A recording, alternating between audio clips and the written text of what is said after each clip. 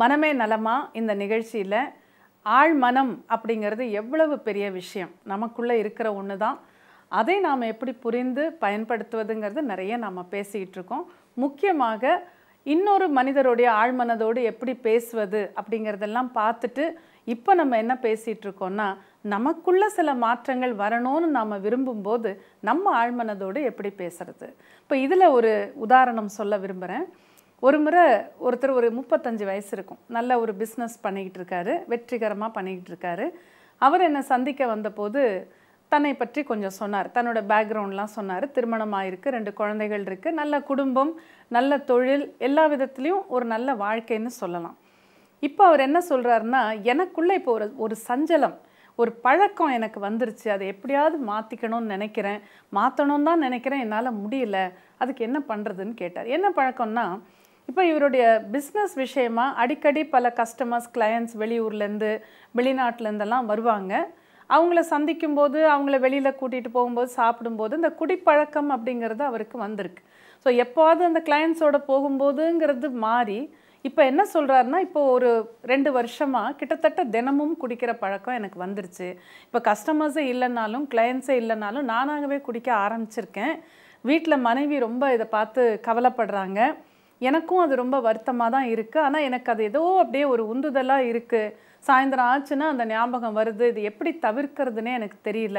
எனக்கே புரியுது. இந்த வயசில் நான் இப்படிலாம் இந்த பழக்கத்துக்கு அடிமை ஆனேன்னா என்னால் தொழிலில் சரியாக கவனம் செலுத்த முடியாது. இதெல்லாம் எனக்கு புரியுது. எப்படி சரி பண்ணிக்கிறதுனே தெரியல அப்படின்னார். அப்போ தான் நான் சொன்னேன் இவ்வளோ தூரம் நீங்கள் சொல்கிறீங்க அது தவறுன்னு புரிஞ்சுக்கிறீங்க அது வேண்டான்னு நினைக்கிறீங்க. அப்போ நீங்கள் அதை மாற்றிக்கொள்ளலாமேன்னா அதுதான் என்னால் முடியல அப்படின்னார். அப்போ சொன்னேன் நீங்கள் அல்ஃபா தியானம் பழகுங்க. பழகி உங்கள் ஆழ்மனசோட நீங்களே பேசிக்கிங்க. அந்த தியான நிலையில் நாம் இருக்கும்போது குறிப்பாக அல்ஃபா நிலையில் இருக்கும்போது நமது ஆழ்மனம் திறந்திருக்கும். அந்த சமயத்தில் அந்த ஆழ்மனதுக்கு சொல்லுங்கள் நான் இப்படி இப்படி இருக்கணும். இந்தந்த பழக்கத்தை நான் விட்டுட்டேன். குடிப்பழக்கத்தை விட்டு விட்டேன். அந்த பழக்கம் இல்லாமல் என்னால் சந்தோஷமாக இருக்க முடியும். அந்த மாதிரி நீங்கள் சொல்லிக்கிட்டே வந்தீங்கன்னா ஆட்டோமேட்டிக்காக ஆழ்மனம் அதை உங்களிடம் ஏற்படுத்தும். அந்த எதிர்ப்பு இந்த பழக்கம் எனக்கு தேவையில்லைங்கிற எதிர்ப்பை உங்களுக்குள்ளே அது உருவாக்கும் அப்படின்னு சொன்னேன். அவரும் ஆல்ஃபா தியானம் நல்லா கற்றுக்கிட்டு இதே மாதிரி தன்னுடைய ஆழ்மனதோடு தினமும் பேசிக்கிட்டே வந்தார். ஒரு வாரத்தில் அவருக்கு ஒரு நல்ல ரிசல்ட் தெரிஞ்சுது. அதுக்கப்புறம் என்னை சந்திச்சப்போ அவர் என்ன சொல்கிறாருன்னா உண்மையாகவே ஆச்சரியமாக இருந்தது. இந்த மாதிரி நான் ஆழ் மனசில் பேசிக்கிட்டே வந்தேன். ஒரு சில நாட்களில் அந்த சாயந்தரம் ஆகும்போது அந்த எண்ணம் வரும். ஆனால் கூடவே வந்து இது எனக்கு தேவையில்லை. அப்படிங்கிற எண்ணமும் வந்துடும் அப்படியே நான் விட்டுருவேன். நேராக வீட்டுக்கு போயிடுவேன். அந்த குடிப்பழக்கம் அப்படியே அதோட எனக்கு மறைஞ்சு போயிடுச்சு. இப்போ நான் அந்த பழக்கத்துக்கு அடிமை இல்லை. என்னால் குடிப்பழக்கம் இல்லாமல் சந்தோஷமாக வாழ முடியுது அப்படின்னு ரொம்ப சந்தோஷமாக சொன்னார். அது மாதிரி சில நேரங்களில் சில பழக்க வழக்கங்கள் நம்மிடம் இருப்பது நமக்கே பிடிக்காது.